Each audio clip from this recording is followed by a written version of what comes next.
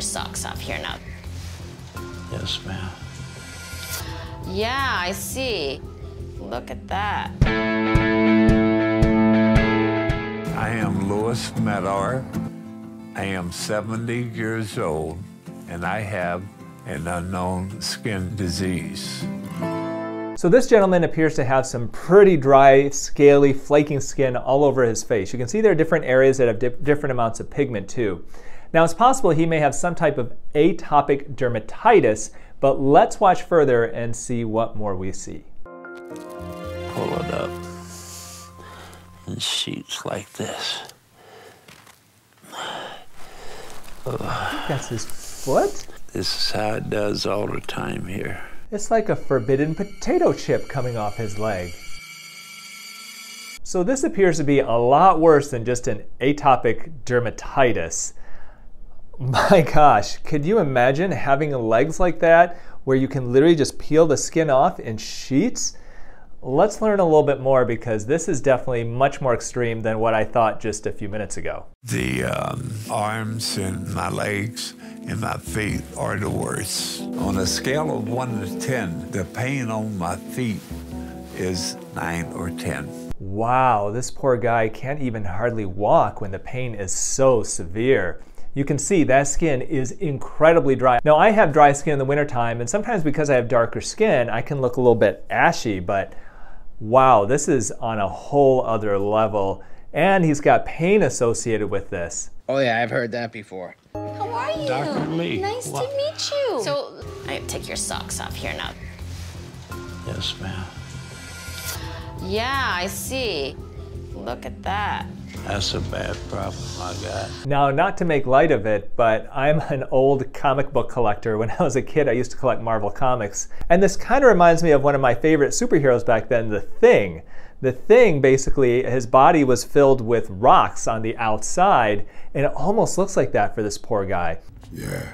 Now, there's definitely a diagnosis here. This is not just dry skin, flaky skin. Most likely, one of the things I'm thinking about when I see him is a diagnosis called ichthyosis. And this is a skin disorder with exceedingly dry, flaky skin that can be inherited. Let's see what Dr. Pimple Popper thinks. This is way beyond athlete's foot or regular dry skin. He has toenails that are half an inch thick. Sure, I've seen things like this in textbooks, um, but I've never seen it in person. Well, if Dr. Lee hasn't seen this in person, that is saying a lot. I too have not seen this in person. I have seen photos of things like this in our textbooks, but wow, really, really severe. Now, what needs to be done in this situation, in my opinion, would be to take a biopsy of some of these lesions and see exactly what is going on. It's like a plate of skin here. You can peel that and you're fine? You do that all the time? I'm fine. Yes. I don't want to pull too hard. There Yeah, you go. usually, Look at yeah. that hard little plate of skin. I mean, look, It's almost like it could be armor because it's so thick on the poor guy. I assume that this is something that you can just peel off all around. The one thing that that strikes me though looking at him is that his skin is so exceedingly dry and the question is is has he even been trying to moisturize it in some cases that can make a huge difference with diagnoses like ichthyosis take a bunch of Vaseline and just kind of put it on your foot here. And we're gonna put this wet sock on here to keep the moisture in. And we don't want that to get dried out. So is there a real odd diagnosis here that something I don't know about? Or is this something where it's just seriously horribly dry skin that has just gone haywire? With ichthyosis, the way you treat it is you really aggressively moisturize. And one secret to locking in the moisture into your skin is after you moisturize, let's say your feet or your hands, especially when it's super cold and dry in the wintertime, put a pair of gloves over your hands or a pair of socks over your feet. That can really help to lock that moisture in. Lewis is back today. I really hope that he has done some work to make his legs look better. And that work would be just being very mindful of just moisturizing the heck out of your arms and your legs, especially his legs and his feet. Now let's find out what is the exact diagnosis that Lewis is dealing with. My hunt for the secrets of healthy and glowing skin have all led me here, and I aim to find out why. I'll get to the bottom of this skincare mystery. There's no mystery here. It's just Youn Beauty. Our products are packed with all the necessary ingredients that you need to help hydrate, protect, and revitalize your skin. It's really just that simple. There's no way it's that simple. I'm on to you, bub. Check out our online store at younbeauty.com or download the Youn Beauty app on your phone to order yours today. Okay, so this is the surface of your skin. You see this stuff right on top here? That's hyperkeratosis, that's that scale. The dermatopathologist read this as an ichthyosis condition. Ichthyosis means skin that has this sort of fish or plate-like scale on it. Have you ever heard of the ichthyosaur? This is actually one of my favorite types of dinosaurs when I was real small growing up. And this is a fish-like dinosaur, and the medical term of ichthyosis comes from the same root. Now the good thing with ichthyosis is it's typically treated very conservatively. Just what Dr. Lee did with aggressive moisturization is technically the way to treat it. You can also use urea-based creams which can help. Not urine, you don't pee on the area, urea. And there are creams that contain urea that can really help to add extra moisture and help get rid of the scaling that you're seeing with Lewis that is so, so dramatically excessive. But what's really gonna make you guys feel good is the fact that since this is acquired and not congenital, it's extremely likely that it is not hereditary. Ichthyosis can be acquired, but it also can be congenital. You can inherit this from your parents. And you can see Lewis is there with his son, and his son was pretty freaked out that this could happen to him. So it sounds like he is at least out of the woods. Thank God for the young man.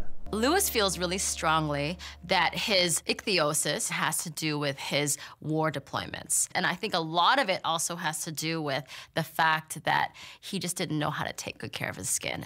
And no one really maybe took the time to kind of explain it to him. Now this is really disappointing because Lewis, uh, he actually served in Desert Storm and uh, we cut this part of the video off just for brevity and he was worried that some of this skin condition was caused by exposures when he was overseas. Now Lewis is being treated at the VA and they were not able to figure out what was going on with him, which is really sad because this is a fairly straightforward dermatologic diagnosis that ideally you would get a biopsy and find out what it is. So, as somebody who has served our country, it makes me sad to hear that he did not get the care that he truly needed, and he had to go see Dr. Lee in order to get this diagnosis.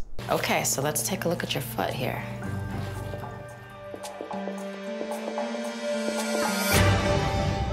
Not bad. His foot, you could see, it actually looks pink now, where it was basically all white before.